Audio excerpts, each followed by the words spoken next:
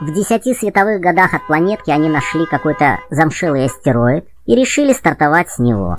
Гонки проходили с переменным успехом. Сначала Беломор вырвался вперед, а Суперкварк все никак не мог оторваться от астероида. Контр-адмирал квакал, буйствовал и обещал то всех разжаловать, то присвоить мне очередное звание.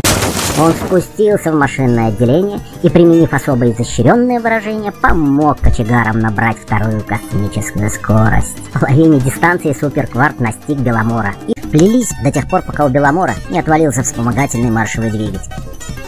«Ща 2047, у вас двигатель оторвался», — предупредительно радировали Суперкварка. «Спасайся, кто может!» – запаниковал стабилизатор и выбросился в космическое пространство. На последних миллиардах километров суперкварк вырвался далеко вперед и первым делом подошел к планетке. Тем гонки и закончились.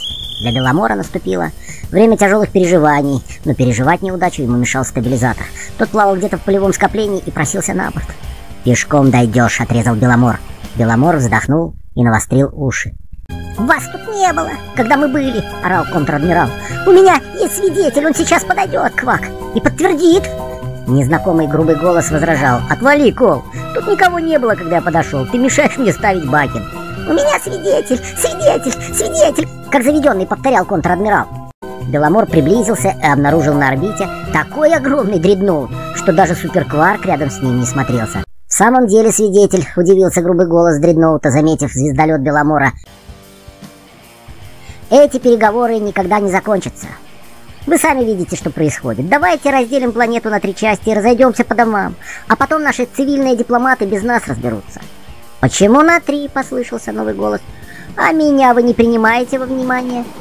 Это кто еще? В планете подкрадывалась какая-то допотопина. Паровая машина, а не звездолет. Там захлебывались от восторга. Иду, понимаете, мимо, слышу, ругаются, принюхался, пахнет жареным. Да у нас за такие планетки памятники ставят. Вас тут не было, блин, квак, кол.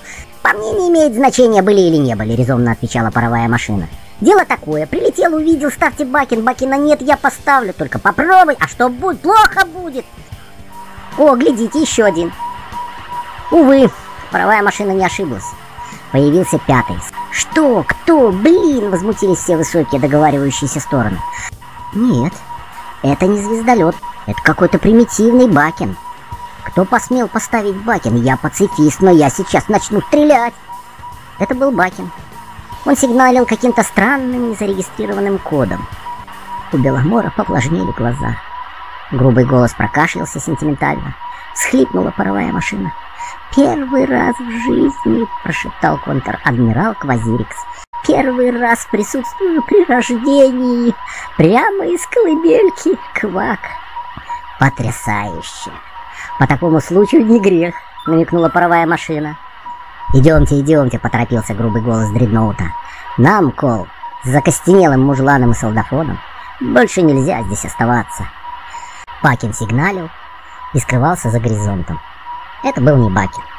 Это был первый искусственный спутник этой планетки.